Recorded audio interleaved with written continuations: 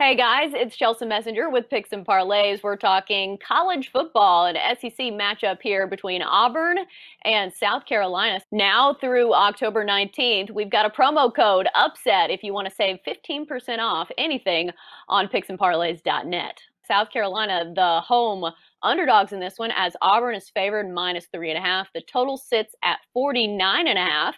Auburn coming off a last second win over Arkansas, 30 to 28. And then South Carolina coming off a big win, 41 to 7 over Vanderbilt, which I don't know how much you pride yourself on that, but still a big win in which they covered very easily. Craig Trapp joining us now to talk this one. Craig, who you got, Auburn or South Carolina? Well, if you're a bettor, I guess you have to say South Carolina has not been terrible for you because they haven't lost against the spread. They're 2 0 1 against the spread on the year. And this Auburn team is, I mean, the two last week was a miracle. And the week before that, I mean, it was Georgia just did whatever they wanted. So you just have to say Bo Nix is what he what we kind of thought last year where he would make the the miraculous plays, the highlight plays, the ones that end up on ESPN. But man, when you really need him to just make the simple plays. He just can't seem to do it consistently.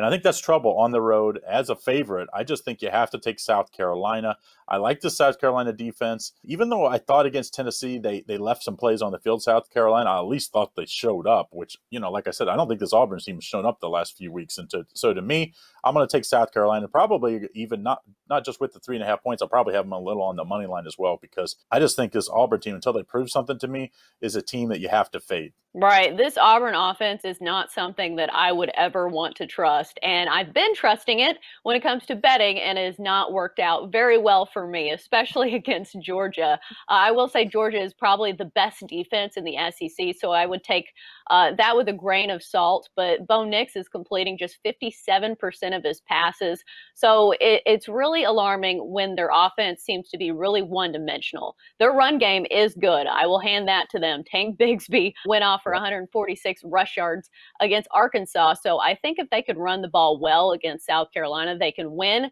But if South Carolina can stop the run at all, I think they're in trouble if if it's up to Bo Nix. Yeah, Bo Nix has just been just been a problem. And, you know, sometimes quarterback can also be a confidence play and you get that feel, you know, and, and when, when things are going great, you know, it seems like you get all the breaks. And when things are, when you're struggling, which he is right now, and Auburn offenses, I think that can be a problem, especially on the road. So I think it takes South Carolina. I also think the unders to play here because, like you said, I think Auburn has to rely on the on the run game. I think both teams would, would rather win with their defense than their offense. So to me, I also think that on the under, but I, I like South Carolina plus the points a little more. Well, and also Auburn's played in quite a few close games, minus that blowout uh, against Georgia. They seem to play just good enough to win, and they play down to their competition. We saw it against Arkansas.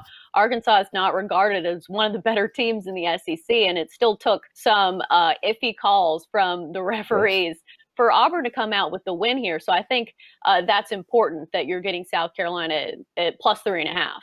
Yeah, you get over that key number of three. That's always big. So I would get on this early in the week because this line opened at plus two and a half for South Carolina. So I do think it's a possibility that this line comes back to three. So I would definitely jump on it as soon as you can. I will say that Auburn will probably make me look stupid, and actually, uh, Bo Nix will probably, you know, go off this game finally because that's what he likes to do. He likes to have one good game a year where everybody falls back in love with him. One final note South Carolina only has one win against Auburn, and it was in 1933. Uh, granted, this is a cross divisional matchup, SEC East, SEC West, but it'll be interesting to me if Auburn can win this one outright and also cover, because I think uh, they can probably win it, but I think it's going to be close.